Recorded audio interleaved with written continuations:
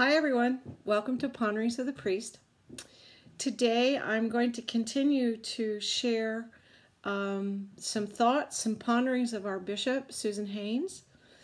And uh, she is reflecting upon the Gospel of John from the, at the 11th chapter, verses 1 to 45. So it's John 11, 1 to 45. If you'd like to read ahead, put this on pause and read, and then come back to it.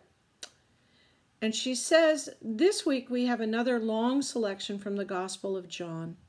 It is a familiar story, however, of the raising of Lazarus from the dead, and is considered one of the many signs in John that Jesus is the Messiah, the Son of God. It is also perhaps the gift of a peek or glimpse into what is going to happen with Easter.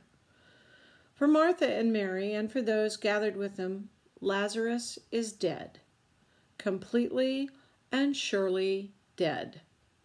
In fact, while his body does not quite present as the dried up bones from Ezekiel, in the minds of those who have gathered, he has about as much chance of living again as those bones did.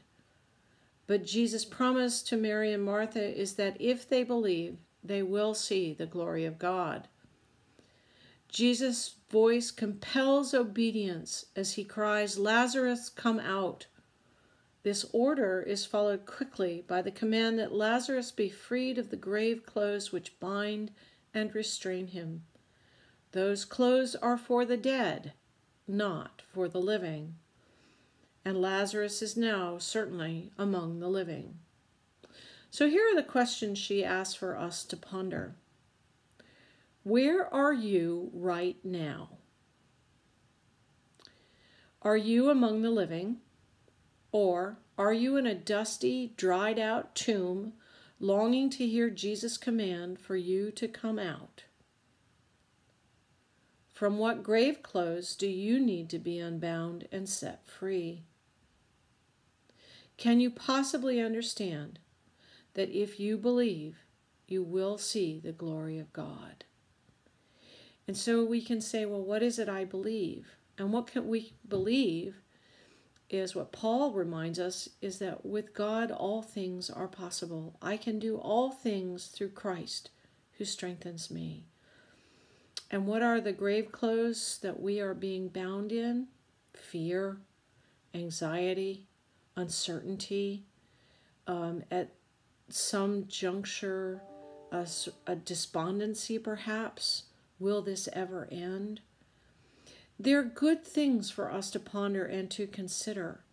Um, they're good questions for Lent to start off with, just in general, but they're excellent questions for us to ponder and to seek. And here's the key to seek God's guidance in finding a way out and finding a way up and finding that hope that we find in belief.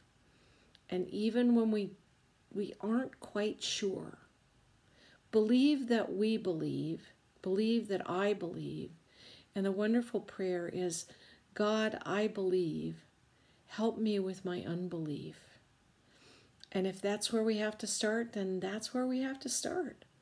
But we will see the glory of God as we come to believe in Jesus, God's Christ, the Messiah. Have a wonderful day, everyone.